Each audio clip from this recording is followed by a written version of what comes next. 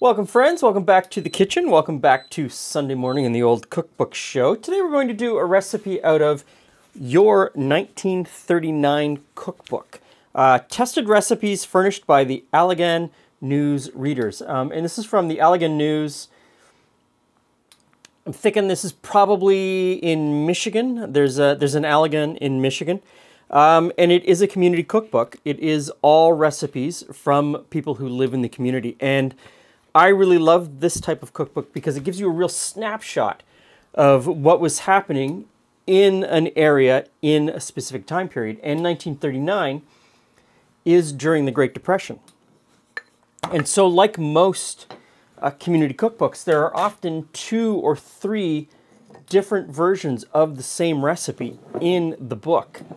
Um, and that gives you a real sort of insight into how different families were coping with the times. And in this case, we're going to make something called baked corn. And baked corn starts out by making a roux or a simple white sauce. So I've got butter in this pot, and I'm going to let that melt down. Um, and so this recipe has a couple of different versions in the book. And the one we're making is the more extravagant version of baked corn. The other one is pared down, a little bit more simple, um, fewer ingredients, and the author suggests that you could leave out the eggs if you don't have them, but that it's better if you do have the eggs. So that tells me that, you know, between these two families, there was a little bit of economic disparity. So once the butter has melted, I'm going to add in some flour. And we're going to stir that together until the flour is mixed in with the butter. And that's it. And it doesn't tell me to brown it at all, so I'm assuming that this is the whitest of white sauce. And next we come in with some milk.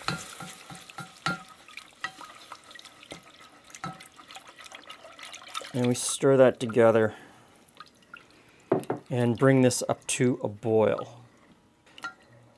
Now it says to bring it to a boil, stirring constantly. I'm not going to stir it constantly. I'm going to keep a very close eye on it, but I'm going to move on to get the eggs ready. It calls for two eggs um, that are supposed to be beaten well. So I'm going to just put those in this measuring cup that I used for the milk. And I'll get a fork here and I'll just give them a good going over.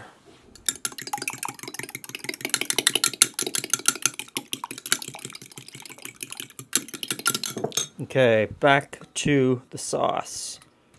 So this is just coming to a boil, and it's a nice, thick, kind of smooth sauce. Um, quite nice. So, next in, we put salt, pepper, sugar, and it calls for two cups of canned corn. And canned corn in this instance could have been corn that you bought at the supermarket in a can, or it could have been home canned corn put up in a mason jar. Could have been either of those two things.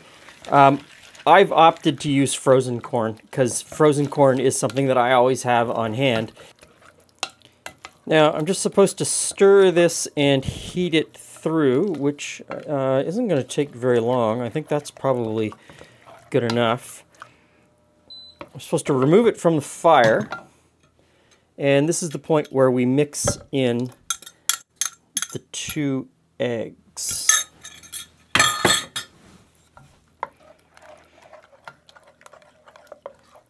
Now it tells me to put it into a buttered baking dish. So I have this glass baking dish and I'm supposed to bake it in a moderate oven for 20 to 25 minutes. Now a moderate oven uh, is generally thought of to be 350 degrees Fahrenheit.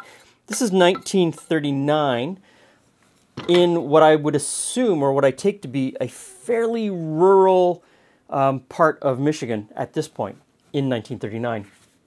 There are four ads in this book. Of the four ads, one of them's for coal, for heating your house. One of them is for a company that will build you a new kitchen and by sort of an extension, put in electrical appliances, and the other two ads are straight up for electrical appliances. So I'm getting the impression that this is an area that is just starting to get electricity or has gotten electricity and they're trying to get electric electric appliances into the houses um, so that they can be used. Um, and of course, one of the ads is from the Board of Public Works telling you to get electricity.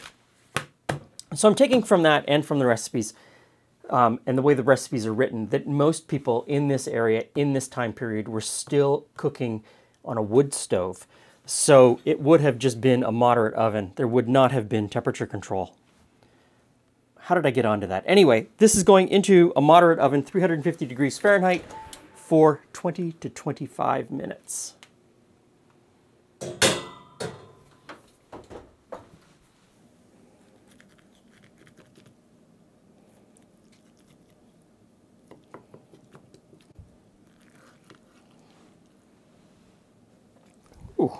Glen, you're looking at that pretty closely, I, my friend. Hey, I friends. am. I am. I am. And I'm I'm expecting something similar to um, something my mother used to make around Christmas and Thanksgiving for breakfast.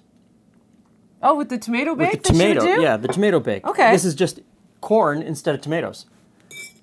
Um, the corn makes it a little uh, flaky, not quite flaky, but. Mm-hmm.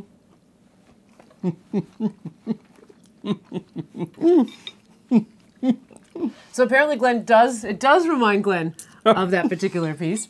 I like that. I like that. Oh, the corn's good. Mm-hmm. Is there cheese in it though? No. No, there's okay. a there's a really because you had said that I was expecting cheese because your mom did like a lot of cheese put on. she put cheese on top. So uh-huh.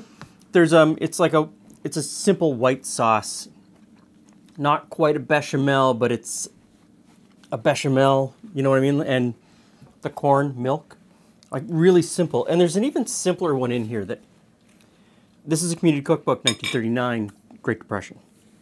I'm gonna say it's from Michigan um, because there's some recipes in here from people that live in Grand Rapids, and that's in Michigan.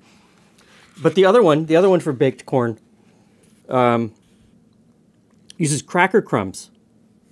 That makes sense. Yeah, and the eggs, and uh, they say a cup of hot tea or coffee and a donut will make this a very hearty lunch. So, yes, I think yeah, a donut, I, donut would add to it perfectly. That's exactly what I was expecting as a side to this dish was a yeah. donut. Uh, yes. No. is this is this a side to the donut or is the donut a side to this? Only you can decide. I don't know. I think this is great. This this this is great for a holiday side table, um, a buffet type thing. Yeah. It's a it's a it's a breakfast side table thing. And like a, like many things, once you've made it once, you're like, oh, you know what? I'm going to add a little yeah. basil to this, or I'm going to add a little cheese. Make it a little more savory and, and kind of bump it in a direction. I mean, this is infinitely malleable to yes. a bunch of different flavors. Whatever you like. Thanks for stopping by. See you again soon.